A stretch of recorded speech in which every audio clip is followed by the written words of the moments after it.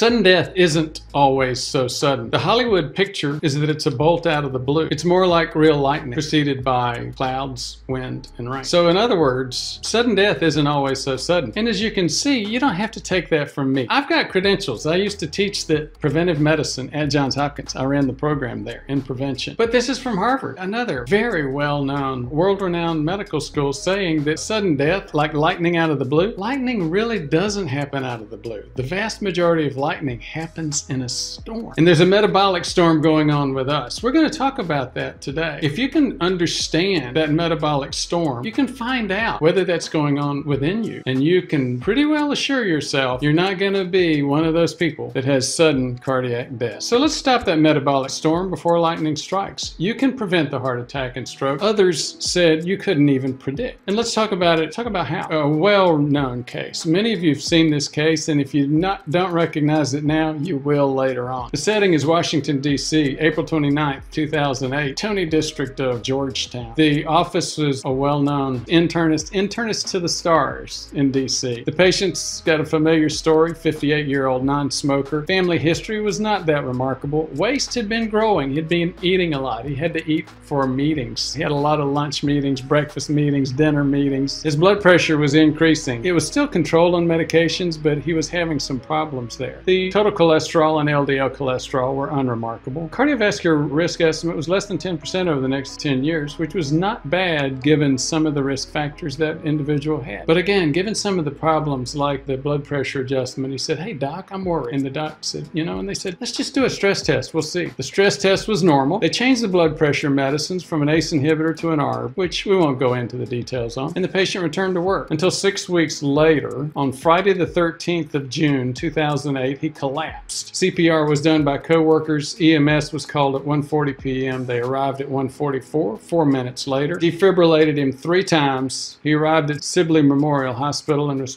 pronounced dead. Autopsy showed plaque, rupture in the left anterior descending artery. There was an NBC News special report with Michael Newman, his doctor, the internist to the stars of DC. If you don't recognize, didn't recognize it before, you do now. It's Tim Russert. He died in 2008, sudden cardiac death. He'd been out on a vacation with his family. His son Luke had just graduated from college and had a birthday. They were in Italy. He came back to tape and record his upcoming Meet the Press show on Sunday the 15th. Friday the 13th, he breathed his last. Now, the metabolic storm before the heart attack. Heart attack is the number one cause of death in the U.S., while stroke is number one cause of permanent disability. When most people think about heart attacks and stroke, they worry about cholesterol. But as you saw with Big Russ, Tim Russert, his cholesterol was normal unremarkable, as are half of the people that have heart attacks and stroke.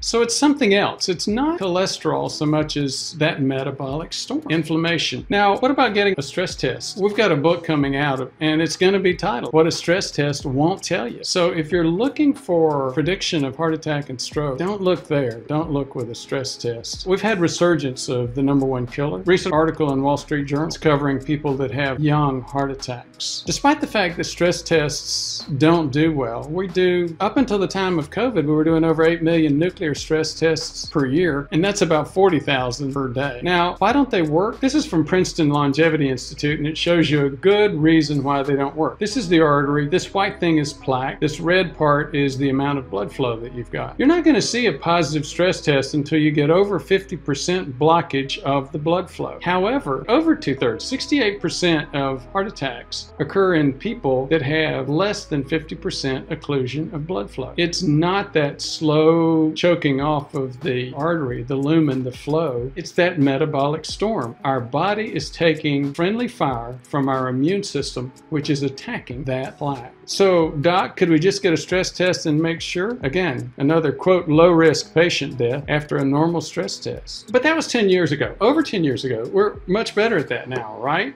Mm, no, we're not. I mean, James Gandolfini and how many other people have had unpredicted cardiac death or heart attack. So, again, we covered why. And in the immortal words of Dirty Harry, you decide you want to get a stress test to predict whether or not you're going to have a heart attack. You got to ask yourself, are you feeling lucky? Now, look at this. If you've heard of Google snippets. When you do a search on Google and you ask them a question, the snippet is that first answer that appears, where the whole answer appears, not just a URL or just a web link. Now Google this, false negative rate cardiac stress test.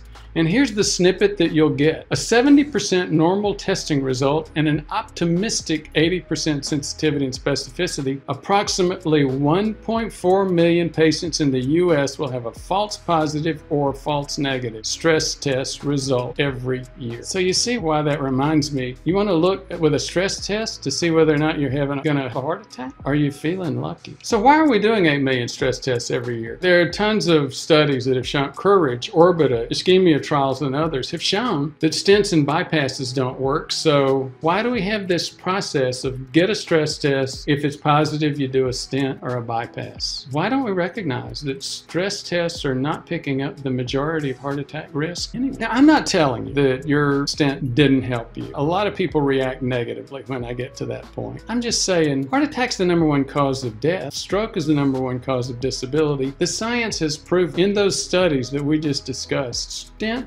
don't prevent heart attack, despite the fact that 90% of them are done specifically to prevent heart attack. They just don't work like we'd hope. Here's the studies. Take a look at them. Don't take my word for it. I've got credibility in this area, but don't take my word for it. Look at the New England Journal. Look at the Lancet. Look at the JAMA, the Journal of the American Association of Medical Association. Look at New York Times. Look at the press that's covered these issues. And as I said, don't get angry with me and don't try to tell me, oh no, my stress tests work. You're wrong, doc. I'm not arguing with you about your individual stress test. I'm talking about the science, the scientific evidence that's out there. And again, let's get back to the original statement here. Sudden death isn't so sudden. That Hollywood picture, it's like a bolt out of the blue. It's really more like real lightning. And real lightning isn't a bolt out of the blue. It comes when there's a storm. So what is that storm? You know, it's interesting. The medical community has inklings of this for almost 20 years now. It's inflammation. We call it inflammation. It's been discovered. It's been described. You can see it, you can test for it. And guess what? Talk about the lay press. This is Time magazine from when? 2004, almost 20 years ago. The secret killer, the surprising link between inflammation and heart attacks. Also, cancer, Alzheimer's, and uh, other diseases, and what you can do to fight it. But this is a cardiology interventions cover just a year ago. Inflammation for the cardiologist, and they still don't have good standards on what to do about it. How to test for it, what to do about it, how to look for it. It's just frustrating. But you know what? It's more than frustrating. It's dangerous. Again, the number one cause of death. So why aren't docs a little bit better at prevention? we are going to talk a few minutes about this issue. Why aren't we as a culture, not just our docs, but our patients? Well, one of the first things is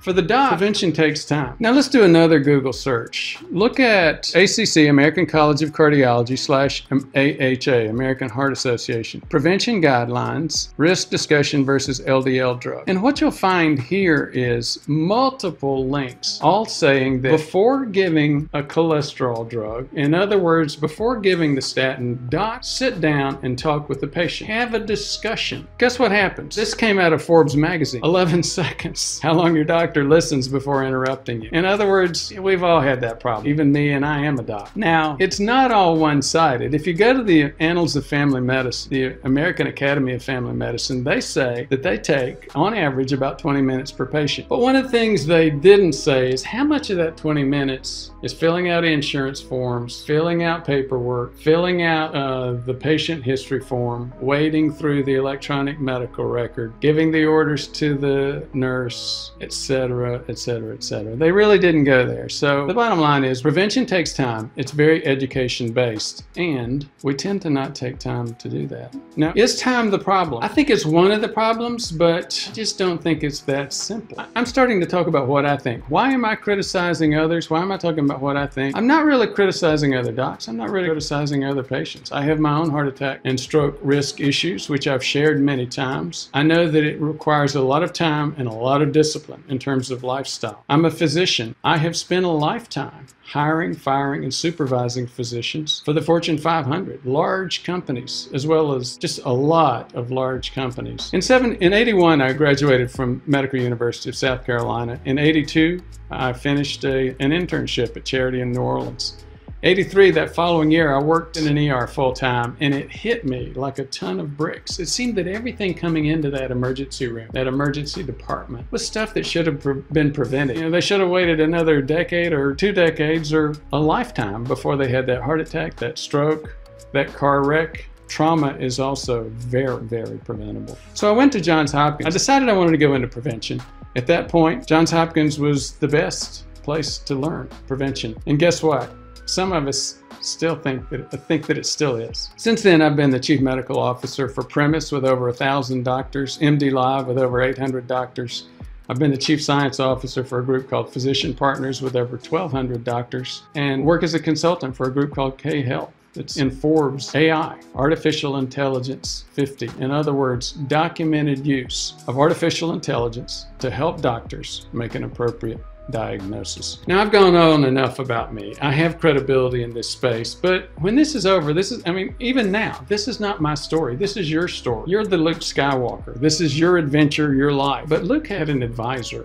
Maybe I can be your Yoda, your advisor. Let's go back to some of the science and some of the things you've probably heard. Most people watching this video have heard things like, well, maybe you have a touch of sugar. Maybe Bob had prediabetes or metabolic syndrome. It's okay, right? It's not a big deal. Mm, I, have had multiple patients say to me, I just wish I had known it was that serious. I had, wish I had known it was rotting my arteries, burning the lining of my arteries, and creating risk for heart attack and stroke for me. Insulin resistance or prediabetes starts that inflammation. It damages the tissue of the arteries. It creates plaque, and that creates cardiovascular inflammation and